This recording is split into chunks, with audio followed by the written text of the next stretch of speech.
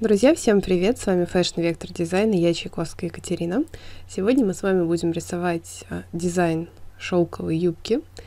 И я хочу показать, как нарисовать принт леопардовый. Притом не просто пятнышки леопардовые, а чтобы они были такие еще все из себя с дерганными краями.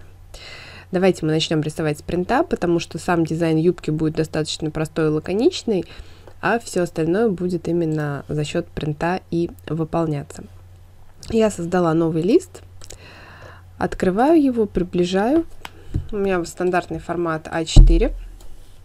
Вот, и сейчас я буду рисовать пятнышки. Чтобы понять, как, как, какого вида пятнышки, вы можете посмотреть на фотографии, соответственно, леопарда и увидеть их такие пятна.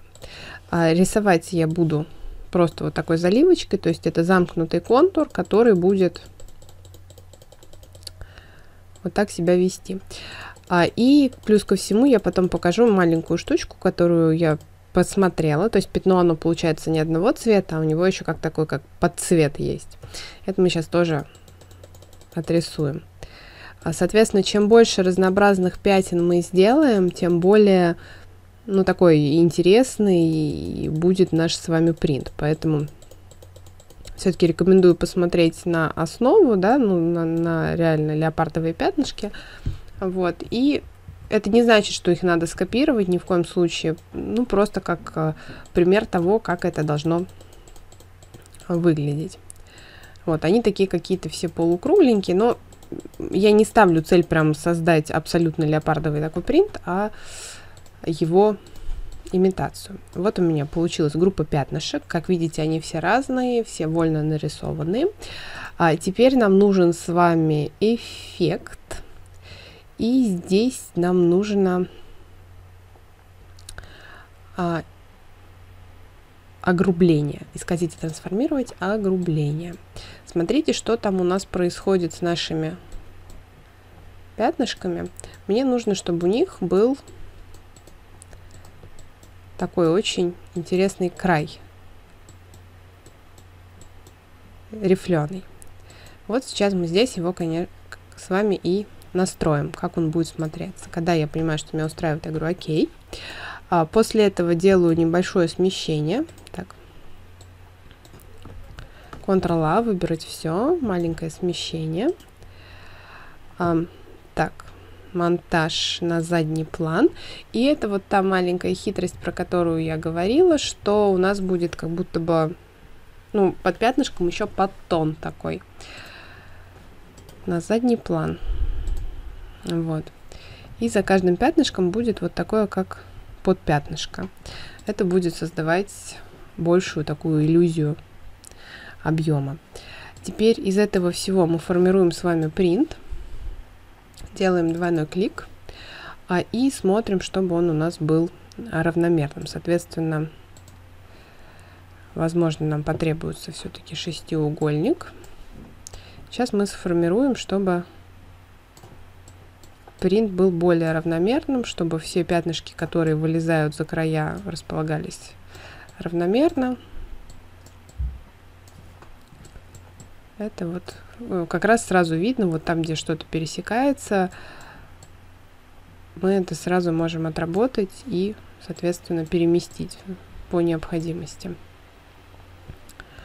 Так, вот этот кусочек сюда. Вот этот немножечко повыше. Видите, сразу понятно там равномерность. И вот при таких э, оно формирует по принципу сетки, вот такой, да, но все равно оно потом формируется прямоугольником. Что у меня произошло? Я нажала на кнопочку ОК, и у меня все слетело. Вот, вернула назад. Сейчас мы доредактируем то, что происходит, и потом уже будем дальше. Вот. Говорю, готово. У меня залились мои пятна моим же принтом, поэтому так все выглядит. Теперь смотрите, как это будет смотреться в большом куске. Вот, но этот а, принт сейчас не имеет фона. Соответственно, видите, когда на серый фон попадает, у него нету фона. Фон сделать очень просто. Мы вытаскиваем с вами вот этот прямоугольничек. И вот смотрите, он нам сформировал, вот он, квадрат. Это и есть наш с вами рапорт. Если мы его сейчас так разгруппируем, я сейчас копию создам, чтобы удобнее было посмотреть то, что происходит. Вот. И вот этот квадратик на передний план переложим и создадим обтравочную маску. Вот это и есть рапорт нашего принта. Если мы его будем многократно повторять, подстраивать друг под друга, то вы увидите, что он стыкуется и бесшовно вот так вот смотрится. Вот это и есть рапорт. Размер этого рапорта мы определяем, мы его экспортируем, и мы его можем отправить на печать. Но я хотела сделать фон. Это я просто показала, как рапорт вытащить, потому что многие задают этот вопрос. Мы с вами Ctrl-C, Ctrl-B дублируем эту штучку и делаем заливочку. Соответственно, заливку делаем того оттенка, которого нужно. Я хотела такой вот молочный сделать. Вот. Соответственно, нам нужно теперь вот этот прямоугольник без цвета заливки, без цвета контура поместить на задний план, все вместе выбрать и закинуть в заливке. Все, у нас сформировалась наша заливка. Мы ее сейчас проверим. Вот она, наша заливочка сформированная. Теперь мы ее а, можем применять туда, куда нам надо. Ну и, соответственно, мы у этой заливки можем еще и а, цвет поменять через замену цвета на любой, который нам будет актуален. Соответственно, цвет фона тоже меняется. Можно менять вот здесь. Если вы понимаете, что вам это не подходит, то здесь всего три цвета. Можно поменять а, через, соответственно, эти цвета. А, ну, например, здесь сделать фиолетовый, здесь сделать более такой зеленый. Здесь вообще сделать бирюзовый такой. Цвета могут быть любые, как бы сами смотрите, какой цвет для вас будет актуальным. Ну и, например, все-таки вот этот. Вот. Получить э, другой цвет того же самого принта, и он будет смотреться совершенно-совершенно по-другому. Теперь мы сохраняем этот файл, чтобы он у меня был в папочке. Print Леопард. Можно его затянуть в библиотеку образцов, но я больше люблю просто сохранить файл и потом его открыть при необходимости. Переходим на наш с вами шаблон. Сейчас мы его откорректируем. Этот шаблон можно скачать у нас бесплатно на сайте. Ссылочку я оставляю под видео. Заходите, пожалуйста, скачивайте. Доступ свободный. Так, рукавчики я убираю наши ручки, точнее, не рукавчики, а ручки, вот. Так, а чем удобен именно такой шаблон, а, мы сейчас с вами сразу увидим длину юбки. Берем пером. Так, у нас это должна быть единичка черного цвета. Вот. Приближаю шаблон. Не люблю прижмуриваться к экрану, а мне проще, когда вот я могу просто посмотреть. А, здесь, собственно говоря, стоит вопрос, хотите вы его нарисовать симметрично или вы готовы к тому, что она будет немножко несимметрично. Соответственно, вот здесь по бедрам юбочка будет вот так вот мягко идти. А дальше я бы нарисовала эту юбку несимметричной для того, чтобы показать а, мягкость и вот, собственно, что вот она живая, да, такая. Опять же, можно сделать полную симметрию, никто вам этого не запретит, это ваше право. Так, и вот здесь немножко сейчас я поправлю инструментом опорная точка и Direct Selection. Вот так, немножко в сторону. Опорная точка позволяет дергать одну направляющую вне зависимости от другой. Так, вот она моя юбочка, у нее будет пояс. Э, видите, как удобно, что шаблон уже прорисованный, все у нас есть. Так, теперь нам нужно нарисовать выточку. Вот, Соответственно, для выточек тоже все нарисовано. Выточку можно сразу сделать симметричной. Так. Оп. Вот, и теперь поправим немножечко линии, немножечко тени. Соответственно, здесь вот будет такая линия красивая.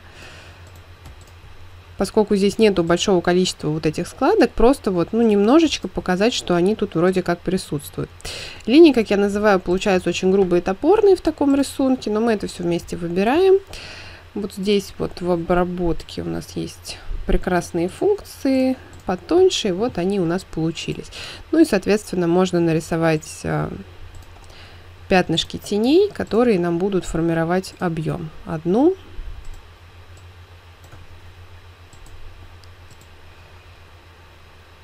вторую и третью. Так. Я не перешла на новый слой, и за счет этого цепляются линии. Вот это очень не люблю. Вот, они смотрятся сейчас немножко топорно, немножко грубо тоже. Но это очень просто исправить. Мы все вместе выбираем. А, соответственно, делаем заливку черным без цвета контура. И в прозрачности ставим непрозрачность. Вот так. Мягкие тени. Если у нас основа с вами залита белым цветом, то все у нас прекрасно видно. Также я знаю, что у многих проблемы с тенями. Вот, например, в этой юбке можно очень просто и лаконично очертить тень вот здесь по краю. То есть она будет представьте себе цилиндр. То есть цилиндрически она будет вот здесь ее описывать. Притом она не должна быть какой-то супер там жесткой или супер фигуристой. Просто вот так вот цилиндрически с этой стороны. И то же самое сделать с этой стороны. Но может быть она там чуть более там вольной формы такой вот будет. Вот, и у вас э, будет э, создаваться ощущение некого цилиндра, чем, собственно, ну, похоже на юбку, соответственно, все будет выглядеть прекрасно. Вот так. Вот. Мягкие тени, они как бы там есть, есть линии, обозначающие легкие складки. То есть, ну, очень такой вот простой, а, базовый, лаконичный эскиз. Все это вместе мы с вами сгруппируем. Соответственно, нужно нарисовать спинку, написать техническое описание, как она обработана, какой толщины пояс, э, соответственно, где там у нас потайная молния, или, может быть, сзади она на резинке будет. То есть вот это все описать, чтобы конструктор мог построить это, эти лекала а мы сейчас создадим а, две цветомодели. Давайте с одной начну. Соответственно, что мы делаем? Мы копируем вот этот принт, Ctrl-C, Ctrl-V, Delete. Оно сюда у нас сразу залетело. А, двойной клик перехожу в режим изоляции. И у меня только два объекта, которые нужно залить. Это пояс и основа юбки.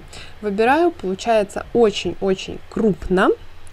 А, и я сейчас а, подберу масштаб принта, соответственно. Так, ну что такое? Нет, так мне не нравится. Давай-ка принт мы будем с тобой делать. Только принт. На 30%.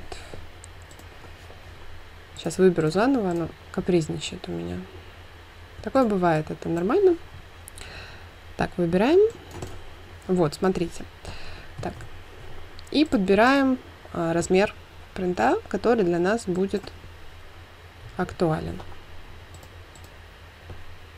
Например, вот так.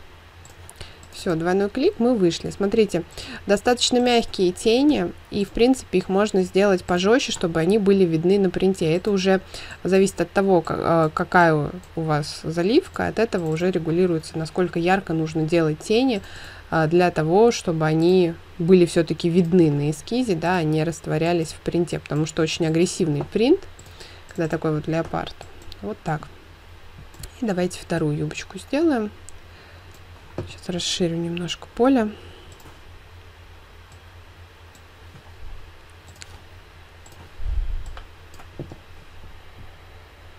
Сместим. Вот, и у нас с вами есть а, второй вариант.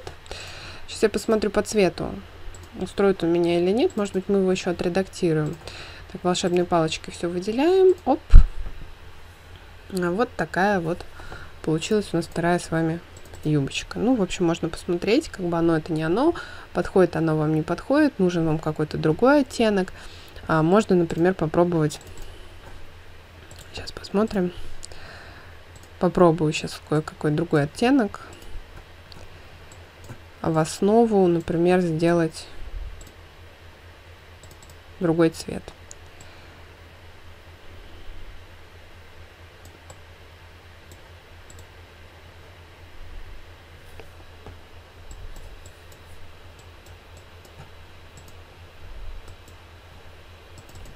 Так, ну что такое?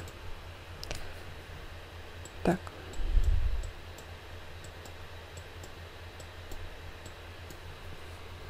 Ну, например, такой какой-то мятный. Этот сделать, наоборот, такой более сиреневый. В общем, здесь можно поиграть и сделать актуальную для вас цветовую гамму. Например, вот так. Уже совсем другое ощущение, ну, как бы она по-другому смотрится, да. То есть мы можем это оставить, и вот на ней, смотрите, уже тени смотрятся слишком агрессивно, и их надо смягчать, потому что